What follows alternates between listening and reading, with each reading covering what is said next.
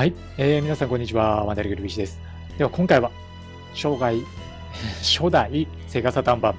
ギレンの野望、ジョン軍編続きをプレイしていきたいと思います。え前回までにですね、地球侵攻作戦の第1段階目標として、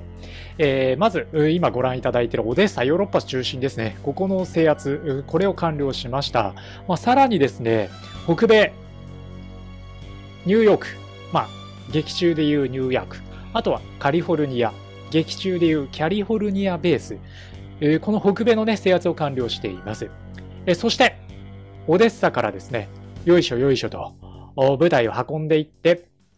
アフリカ、キリマンジャロ基地の攻略まで完了しています。今回その続きになります。えー、この後はですね、北京の攻略作戦が発動されますので、北京攻略のためにですね、その拠点としてこのウランバートル、ここの制圧を進めていきたいと思います。で、ウランバートルの制圧が完了したら、ここを拠点にですね、え北京の攻略を行っていきましょう。で北京攻略するにあたってはですね、えまず、オデッサにですね、キリマンジャロから部隊を移して、オデッサから陸路でえ北京に移動してもらおうと思います。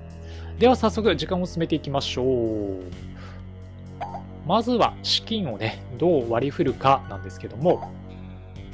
この後ですね、地球上での戦いの中で必要になってくる水陸両用モビルスーツなんですけども、今ですね、水陸両用モビルスーツで開発ができるものが、この GOG ですね。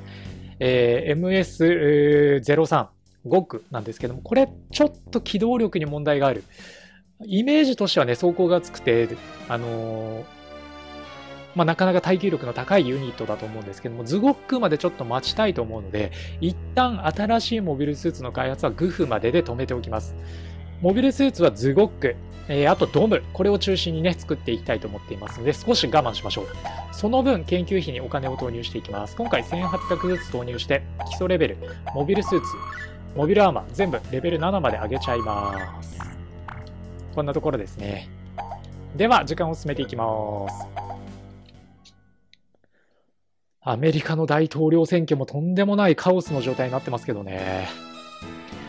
まあ一つは郵便投票の是非というかね、そこでの不正の有無というかね、そこをトランプさんがだいぶ、えー、不満わらわに唱えているような状況ではあると思うんですけど、まあ、郵便投票は少なくてもね、その組織的かどうかは別にして、一定の不正というかね、そういうものは多分防ぎようがないというか、もう絶対にあると思うんですよね。というのも、まあ、簡単な話で、あのまあ、例えば4人家族で成人している4人家族だった場合にですね、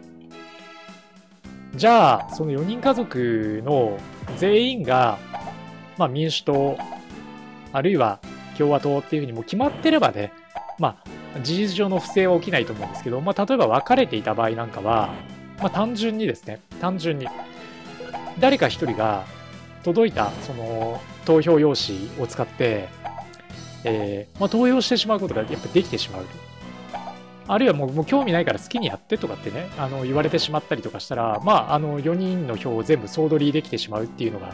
まあ、少なくても多分あると思うんで、まあ、そういうところでまあ不正というか、あのまあ、起きやすいのかなとはちょっと思いますよね。まあ、ただそれがあの何万秒とか何十万秒とかっていうものをひっくり返すほどのおまあ大きなね、えー、表になるかっていうとまたちょっと話は別だと思うのでまあ果たしてそれがその不正だというかどうかはちょっと別だと思うんですけどね。まあ、なのでトランプさんの言っている組織的大規模な不正があったかどうかっていうのは、まあ、あくまで個人的にはクエスチョンですけど、まあ、そういうね、えー、小さな小さなあの不正というか、あのまあ、え家庭内での表の、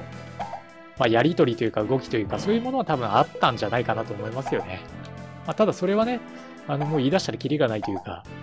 まあ、当然 誰もが認識はしている元の中で話だと思うんですけどね。まあ、この先ね、どうなるかまさにカオスの状況のアメリカの大統領選挙ですけど、バイデンさんがね、どうなのかっていうのもちょっとわからないんですよね。バイデンさんの人となりもわからないですし、報道を見る限りだとね、やっぱりどうしても中国寄りのイメージが僕としては持ってしまってるんで、あんまりプラスなイメージはないですけど、まあ、ただそれでも、ね、あのー、韓国に対してね、厳しい態度を望んでくれるんであれば、まあ、僕としてはもういいかなと思ってます。やっぱりね、韓国の方がどちらかというと、あくまで僕個人的な意見ですけど、あんまり好きにはなれない、えー、お国さんでいらっしゃいますんで、まあ、韓国にね、しっかりふざけんなと、あちゃんと日韓基本条約守れやと言ってくれるね、あの大統領だったらもう誰でもいいですという感じですけどね。まあ、残念ながら多分そうはならないんでしょうけど。さあ、あのー、この後北京の攻略に向けてというところなんですけども、まずはガウを使ってですね、この足の遅いザクワンの3連星を移動させましょう。まあ、貴重な戦力ですからね。貴重な戦力になっている3連星をガウを使ってちょっとうまく移動させます。あとは、ここに入っているキリマンジャロを攻略した部隊ですね。まあ、シャアをはじめですけど、彼らを一度、オデッサに移動させて、まあ、シーマン含めてね、防衛戦力を残してオデッサに移動させて、オデッサから陸路で、えちらおちら、北京まで進んでもらいましょう。どうだろう、防衛戦力としてどれくらい残しといたらいいかっていうのがちょっとわからないですけど、3、3機、3ユニットぐらい残して一度北京の攻略のために部隊を移動させますか。北京攻略した後はおそらくマデラスになる、マドラスになると思うので、まあ、まとまった部隊を一度北京攻略に向かわせましょ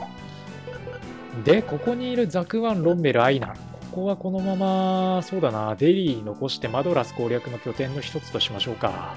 で、残りはみんな、まずはここ。3ユニット入ってますけど、これを潰していきましょう。索敵をして、索敵レベルはね、重宝レベルを上げたので、だいぶ高くなってると思うので、索敵をしっかり行って攻撃を加えていく。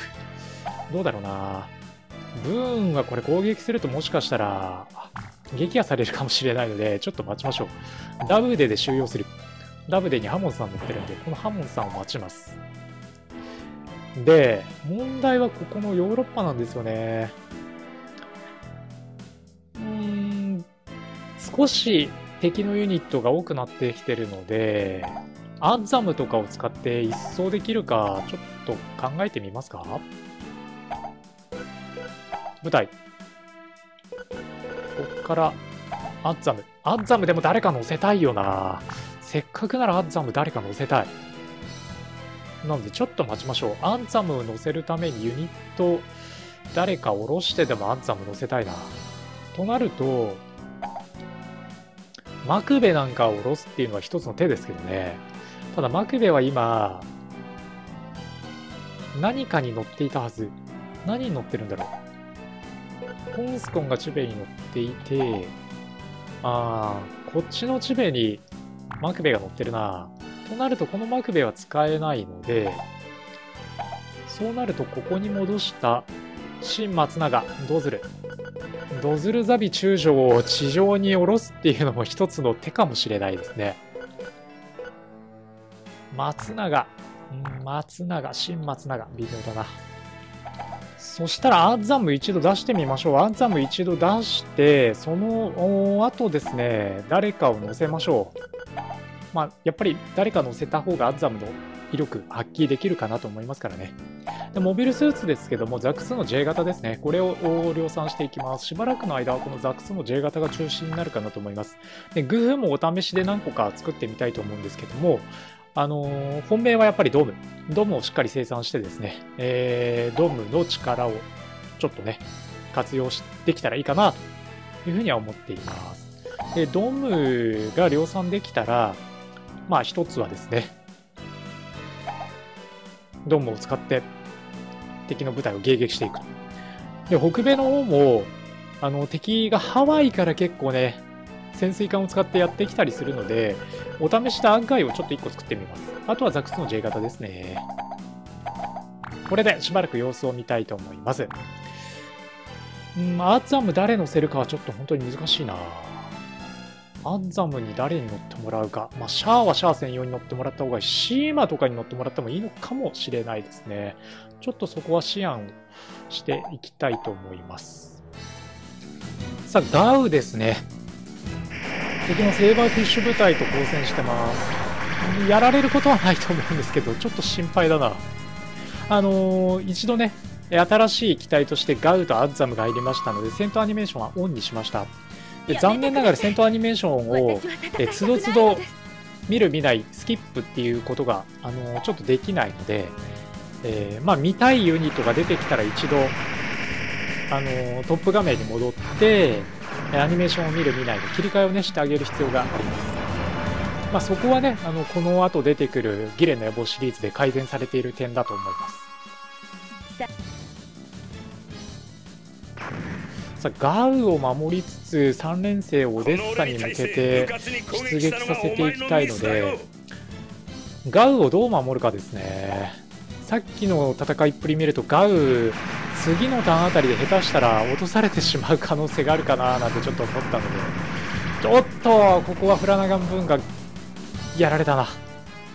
危惧していたフラナガンがやられましたね。この俺がやられんなんて。あそうなるとアーチャムにフラナガン乗せてもいいかもしれないな、まあ、ただフラナガンここで撃破されたことによって負傷が23ターン続くと思うのですぐにアッザムに乗せられないので、まあ、ちょっとやっぱりアッザムをうまく活用するには難しいかな。ここはジョニー・ライドですね、まあ、一方的に敵の潜水艦から攻撃を受けるだけです。ちょっと一度下がって回復させた方がいいかもしれないな。まあ、ズゴクが出てくるまで敵の水中ユニットに対する抵抗手段があんまりね、しっかりとしたものがないので、まあ、ズゴックをいち早く開発完了させるのが重要かもしれないです、ね、作戦の初期目的を達成し、地上での生産体制が整いつつあります。これにより大気圏外からの効果という危険を冒すことなく、北京攻略作戦が発動できるという状態になります。北京攻略作戦を提案します。北京攻略作戦はもうお金があるうちに早めに発動していっちゃいましょう。あとこの新しい開発プランなんだろう。あのレベル研究レベルをね7に上げたことによって、えー、新しい開発プランが提案されていると思いますので。北京攻略作戦を実行します。残りのお金を使って新しいモビルスーツの開発を行いましょう目標は東北京へは先ほどお話した通りオデッサから部隊をね、え陸路で移動させていきます。北京の後は多分マドラスだと思います。これでユーラシア大陸アジアああいったね、えジオンのものにしようというところですね。では、ルナ2から出てきてる敵の部隊は定期的に潰しておく必要がありますので、今回は潰しておきましょう。あまり溜めすぎるとね、敵も大部隊になったりして、えー、倒すのが あの難しくなるというかや、厄介にはなってくるんで、まあ、そうなる前にですね、定期的に倒していきたいと思います。あとは、衛星軌道に打ち上げられてきた敵の、まあ、いわゆる HLV ここからもですね、敵のユニット出てきては、悪さを働いたりするんで、そうならないように、潰していきましょう。これ放っておくと次のターンでね、モビルスーツが出てきて、大損壊を受けるなんていうことにも、まあ、なりかねないので、まあ、絶対にそうしたくないですからね。あの、確実に、確実に叩いて潰しておきましょう。多少エネルギーを使ってでも確実に倒していきたいと思います。では3連星をガウに乗せちゃいます。で一気にね北京まで輸送しちゃいましょう。3連星もそろそろザクワンから乗り換えてもらいいかなっていうねタイミングではありますけどね。もうちょっとこのまま頑張ってもらいましょう。で、ここにいる、うーん、ドンエスカルゴ、とりあえずセーバーフィッシュ。これをどう料理するかだな。なかなかに邪魔くさいですね。ダブでなんですけども、搭載能力6は本当に大きいですね。6も搭載できるんだ。6搭載できるとだいぶ違ってくるな。まあ、ただ移動力は高くないので、まあ、ダブで、を移動に使うっていうのはあんまりあの効率的じゃないかなと思うんですけど、あの回復の拠点としてはすごく使い勝手がいい場所にあるのかなという感じがしましたね、今ね、見ていて。まあ、ちょっともしかしたら別の動画でもお話したかもしれないんですけど、ついに僕の会社もですね、まあ、通勤手当、いわゆる定期代が廃止されました。あのー、まあ、大体、8割ぐらいの人が多分僕の会社だと、あの、まあ、いわゆる在宅勤務になったんだと思うんですけど、まあ、それに伴って、通勤手当を排除した、まあ、削除したっていうことなんでしょうね。ちょうど今ね、アッザムで戦闘シーンですね。これ見終わったらまた、あのー、変更します。戦闘アニメーション見ない形に変更します。まあ、ただ、あの、2割ぐらいの人は出社しないといけなかったりする人たちもいるんで、そういう人たちの不満がどうなのかなっていうのはちょっと気になるんですよね。僕個人としては通勤に使う時間かなり無駄なんで、まあ、毎日1時間ぐらいですね、あの往復1時間ぐらい無駄に過ごしていることを考えると、その1時間をね、あの別のことに避ける、まあ、仕事にせよ、プライベートにせよ、割くことができるのは大歓迎なんですけど、どうしても通勤せざるを得ない人、社内の中でもあのいるんで、そういう人たちがね、ちょっと不公平感を感じないかなっていうふうにちょっと思ってますね。でもちろん職種、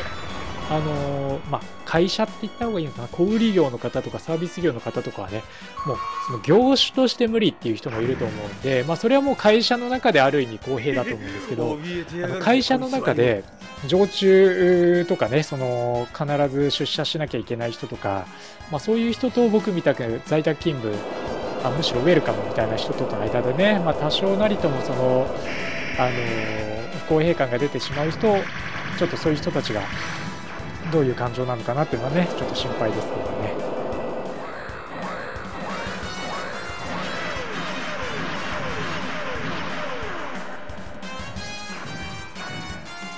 今、ギレンのグアジンの砲撃戦見てもらいましたけど、ギレンが乗ると強いわ。これギレンのいるいないで全然変わってくるな。まあ、ギレンは撃破されてしまうとゲームオーバーになるので、あんまり前線には出してない、出したくないユニットになるんですけど、今の砲撃戦見てもらっただけでも、ギレンのグアジンの強さが際立ってましたね。これはちょっとギレンやっぱり積極的にね、あのリスクが出ない範囲で運用した方が良さそうですね。まあ、ギレンがいれば、あの、指揮力の範囲も高いんで、あのそのね、戦域自体の支配力というものがだいぶ高まるんじゃないかなと思います。なので、ギレン、一旦ね、回復、エネルギー回復のために拠点に戻しますけど、また前線に復帰してもらいましょう。まあ、ギレンはそういう意味で、艦隊戦の指揮をね、劇中では取ったことはないと思うんですけど、あの、ギレンの野望の中では指揮力、トップレベルの高さありますからね。これはうまく使って戦っていきたいと思います。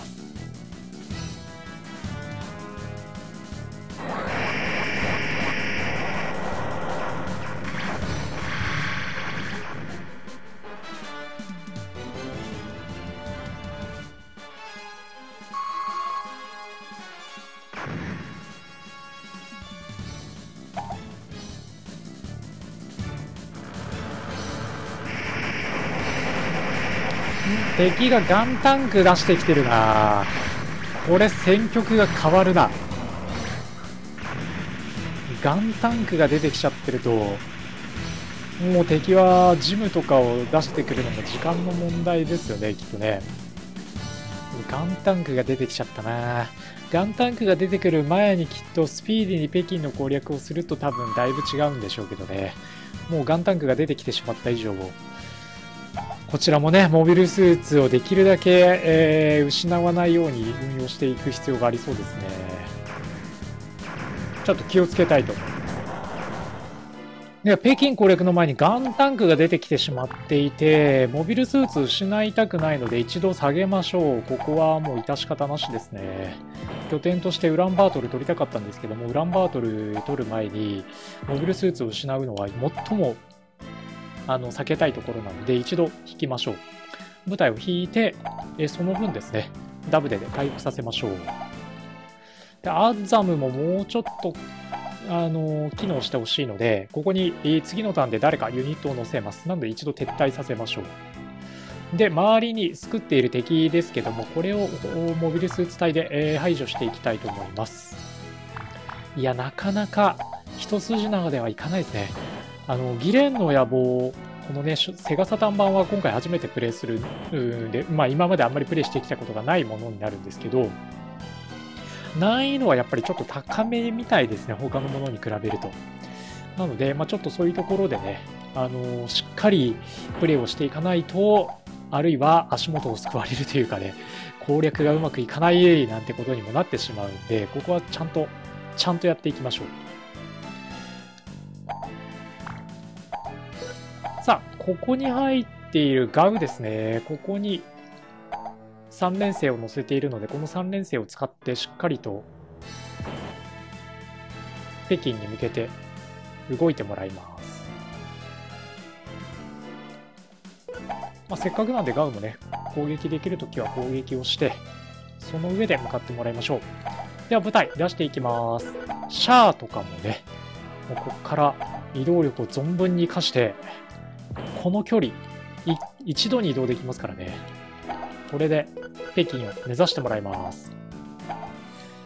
では、ザク、J 型、陸戦型ザクですね。これを今、あの北京に向けて大移動中です。他はですね、ご覧のようにヨーロッパで敵の迎撃を行っていきます。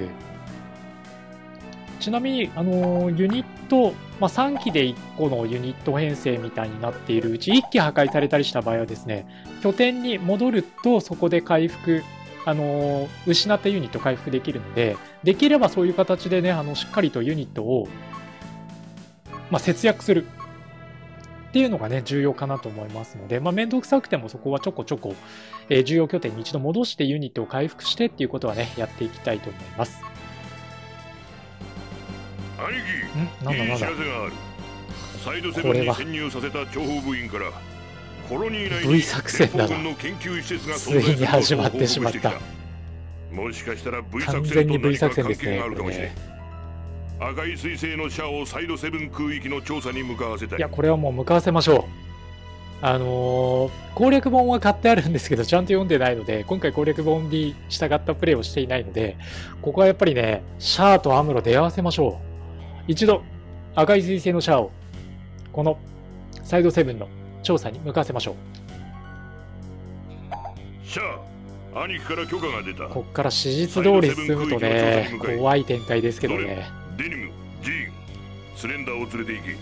き、期待しておるデニムとかジーン、スレンダーのことを、ドズル・ザビは名前を知ってるぐらい知ってたんですね。なんか本当に早朝レベルでしたよね、確かに彼らで。5丁早朝レベルだったと思うんですけど、ちゃんとドズル・ザビ閣下は名前知ってるんだな。でも研究レベル、あの、ちょっとずつ上げていきます。本当だったらお金とカット投入したいところですけど、今お金があまりないですからね。開発ですが、新しいもの特にありませんので、今回は行いません。人事は、えー、まずビッターはともかく、ブーンをですね、アッザムに配置しましょう。そうか、ビッターもできれば、それこそガウとかに配備してもよかったのかもしれないですね。まあ、今ちょっと誰かどこかにっていうものはないので、一旦ビッターは温存しましょう。必要な時にいつでもビッタークラスの人間をね、え配属できる状況というのを作っておきたいと思います。ガンタンクがですね、今、あの、北京への進行ルートに陣取ってまして、これが硬くて突破できないっていう状態になってます。ここのガンタンクが本当にむちゃくちゃ硬いんですよね。ま、このガンタンクをこの先相手にしなきゃいけないってことを考えると、かなり厳しいかもしれない。ザク2の J 型だと突破するのが難しい状況になってるんで、ちょっと考えものですね。どうしようかな。まあ、なんとか、とはいえ、ここを突破しないと話にならないので、モビルスーツ隊を送って、まあ、なんとかこれを撃破していくしかないんですけど、ザク2の J 型を3機スタックさせただけでは当然攻撃が入らないですね。なので、一度に3方向から攻撃をかけるとか、まちょっとそういう工夫が必要そうですね。あとアッザムをですね、あと2機作りましたので、アンザムをね、量産して、えー、この戦いにも投入できたらいいのかなというふうには思っています。ちょっとここでこのガンタンク相手に、ザク2の J 型6機で攻撃を仕掛けてみましょう。これで6機攻撃で撃破ができなかったら次のターンで、えー、9機で攻撃してみます。まあ、それくらい硬い。あとやっぱりガウが敵の攻撃にまあ、言ってみればかなり脆弱なので、ガウをどう守るかっていうのも課題になりそうですね。今後の戦いに備えてガウは量産しようと思ってるんですけど、ちょっとガウの信頼性はそこを見てから決めたいと思います。あんまり敵の攻撃に対して脆いようであれば、まあ、ガウを量産するのを、まあ、やめて、様子見をした方がいいのかなっていうね、気もちょっとしてますので、そこは見極めていきたいと思います。アッザムはね、えー、強いんで、量産しました。今回は宇宙ですね。サラミス3、マゼラン1がルナ2から発信してますね。結構な艦隊の規模になってる。これを迎撃しなければいけないんですが、どうだろうな。ザク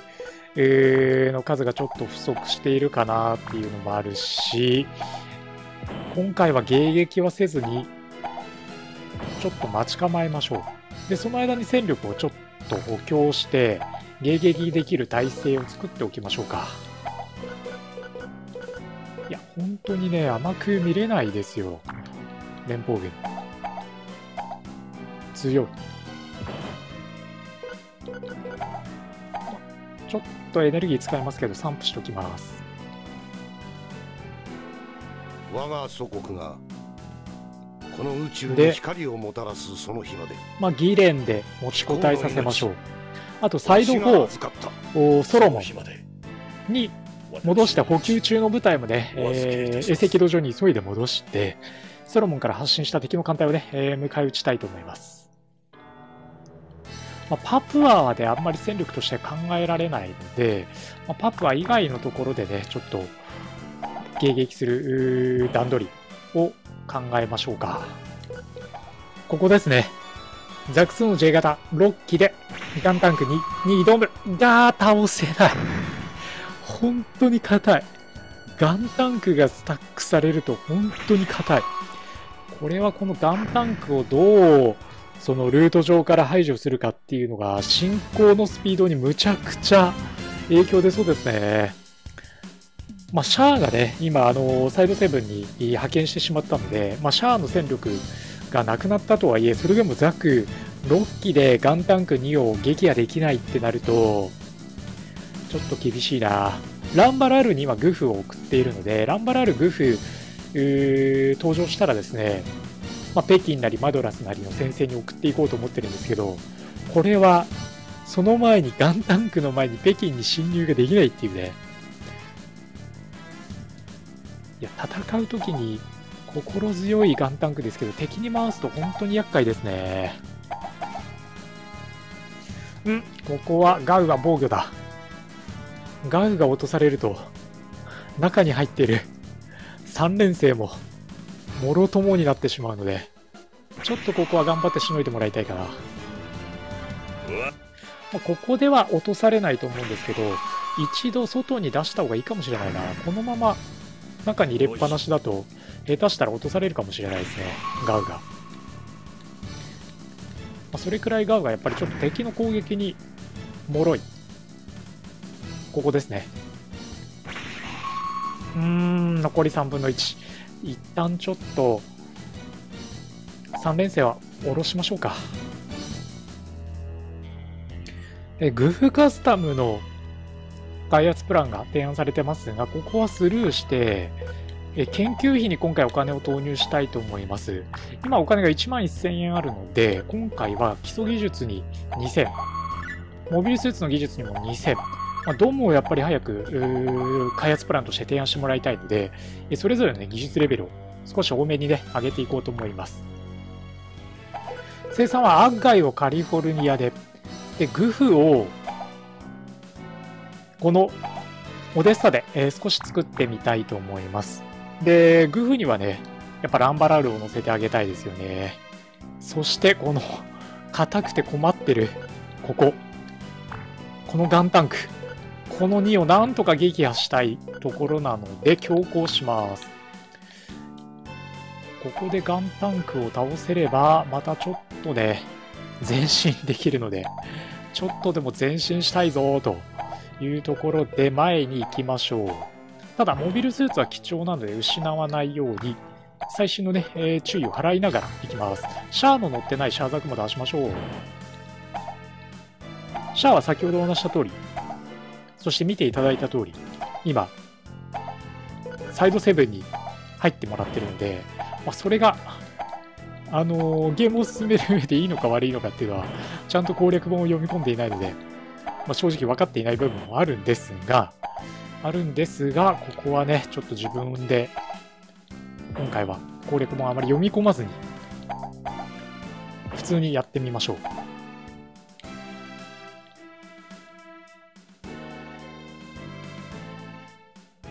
なんで今回はガンタンクに対して、まあ、しかも手負いのガンタンクですね。ガンタンクの手負い度はこんな感じです。こんだけの手負いのガンタンクを相手に、えー、ザク2の J 型9機で一斉攻撃を仕掛けるっていうね、ちょっとそういう作戦になってます。で、あの、スキップできないとか、この戦闘アニメーションね、あの、ちょっと言ってたんですけど、よくよく見てみたらちゃんとスキップできたし、見ることもできました。ちょっとここはね、えー、今の僕の発言で訂正をさせていただきます。まあ、そりゃそうですよね。毎回ね、あのー、見る未来の設定をトップ画面に戻ってやらなきゃいけないってなるとね、めんどくさすぎますよね。ここもガンタンク1機だけが 9機のモビルスーツザク2で攻撃に入っても、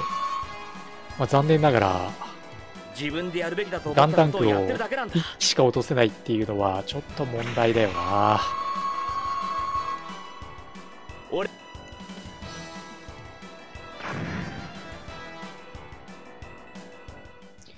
さあ今 HLV をちょっと一気打ち漏らしたのであそこからモビルスーツなり何なりが出てきてもおかしくないですねすでにガンタンクが出てるんでガンキャノンももう開発完了しててもおかしくない状況なので、まあ、そう考えると本当に一刻も早く北京を制圧して今出ている敵の部隊をね、えー、殲滅しておいて壊滅させておいて戦線を有利な状況にしたいんですけどちょっとそれも難しいなっていうまさかのガンタンクのあの硬さ。またガンタンクがスタックしてんじゃねえだろうな。そうなるとちょっとガンタンクをさらに多くの部隊で 迎え撃つしかなさそうですね。ギャルフォルニアベースには敵の部隊が侵入してきてますのでこれは普通に迎撃戦展開していきます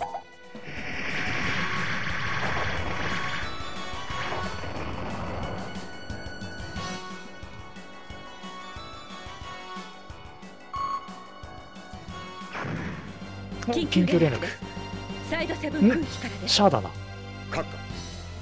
連邦の V 作戦。モビルスーツの開発。それに伴う心臓戦艦を同時にキャッチしたのであります。情報収集に向かった我が隊のザクがサイドセブン内で連邦のモビルスーツと交戦ということでジーンを失ったな。連邦ののモビルスーツのためにザク2機を失いました。デニムスレンダーが死んだな。脱出した部下が持ち帰った映像があります今のアムロだな。チラッと映った。部下の話では、連邦のモビルスーツは信じがたい能力を持っているようです。ガンダム。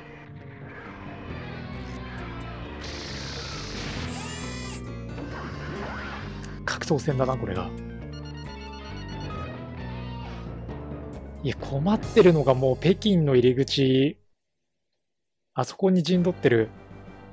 ダンタンクなんですよね。兄貴見ての通りだ。赤い彗星のシャアが V 作戦を捕まえた。補給部隊を派遣して調査を続行させよう。させましょ